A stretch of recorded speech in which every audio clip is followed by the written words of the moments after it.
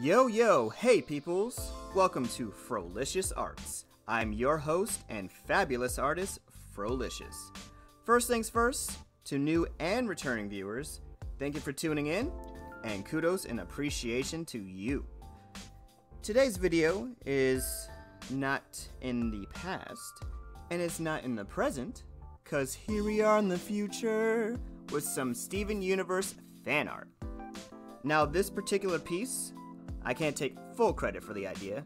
One of my homies actually came up with the, you know, mashup of Steven on the throne, like the same way you see Conker in uh, Conker's Bad Fur Day. Uh, you know, that classic 64 game. Which is wild, by the way. If you haven't played it, you know, go play that. I'm sure you can.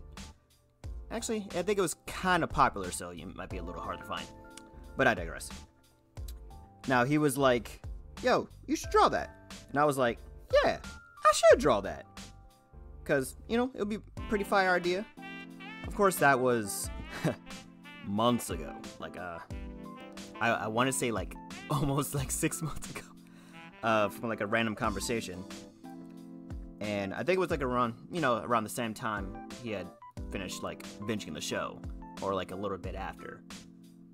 Uh, but a little while ago, it popped in my head, uh, like all great ideas do. It's like, wait a minute, didn't I have this amazing idea? Wait, or someone suggest an amazing idea? Yeah, I'm gonna do that. So I guess I'm gonna go into kind of what's happening uh, in this time lapse. So, like the little, the whole concept I you saw in the beginning, where I kind of just did some thumbnails just to get the overall positioning of his body.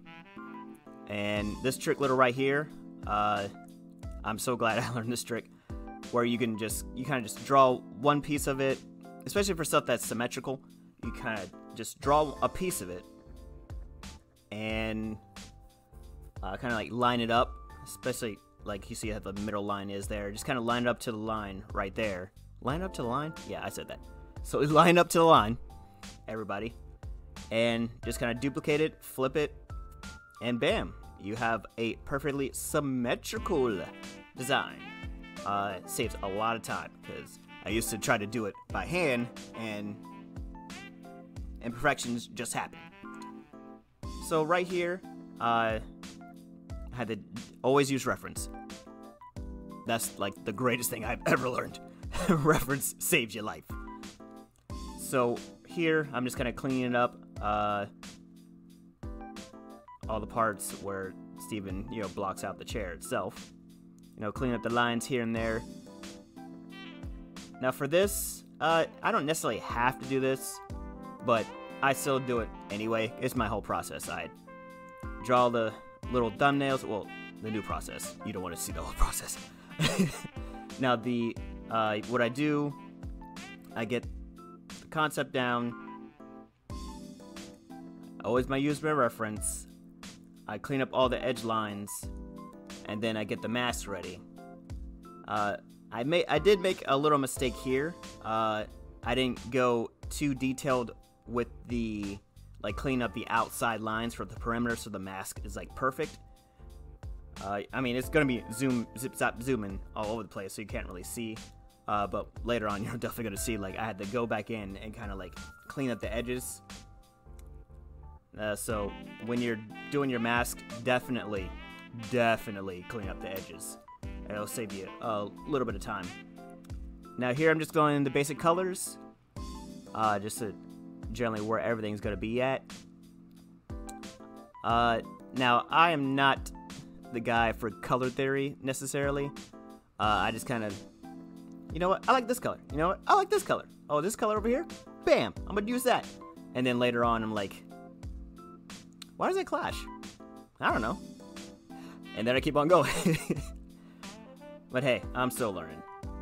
And that is the whole process. Now, I think at this point, uh, like so, like on a subconscious level, when I did the spotlight, I was thinking about uh, doing a whole background. Oh, that little part right there. That that was really really quick. Uh, but I said sorry. I stopped recording because what I had what I happened was is uh I was multitasking even though I shouldn't really be multitasking. I need to focus. I ended up well, you can't really even tell. It's probably like t- five to ten minutes of like me cleaning up the lines, like I was talking about earlier. But I didn't actually push record. I thought it was really noticeable. It's not noticeable at all. Like, if I didn't tell you, you probably wouldn't even be able to. I mean, if you want to rewind back and be like, hmm, okay, this frame right here, this is a little different this frame right here.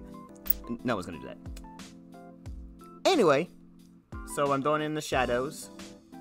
Uh, I didn't want to go too crazy with the shadows because I wanted to kind of keep that,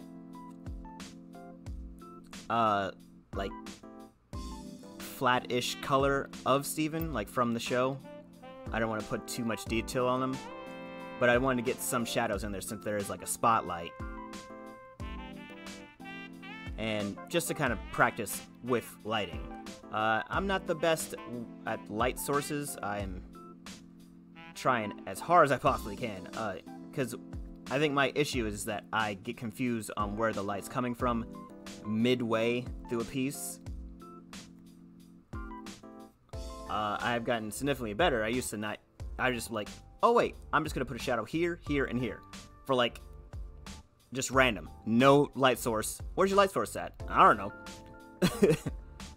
Uh, I really like how the the chair came out, uh, specifically the fabric part. Uh, at first, when I was doing it, I was like, "This looks trash," and then when I kind of stepped away and came back to it, I was like, "Oh, that that almost looks rendered." That is fire. The word of the day is fire. I think I'm saying that a little too much. Now, right here, I had to kind of put some highlights on the chair where all the gold, the gold is. And I didn't really know what material I wanted the, like, the red. I think I originally wanted them to be, like, big red gems and then the top, you know, some red gems. But I kind of made it more of a, I guess, like, plasticky, I guess, material. So it's not really shining that much. Now, with the crown, I definitely had to, like, play around with it, but, eh, I think it came out alright. I might I should have put a little bit more detail on the crown, but hey, I think it came out well. Now here's more cleaning up on the lines, and that stubble. Uh, I made an effort to make sure I had a whole layer specifically for his stubble. Uh, now this little halo feature right here, uh, I wanted to get that like halo effect from from the show, like with Steven when he goes like full, like that full diamond effect. So I think it came out pretty well. Uh, it's it's I wanted it to be pretty subtle. I, I think it might be too subtle. Now here I'm just messing with the like the overlayer for like the blur, and this this I just learned, like they make a, a like a proper spotlight.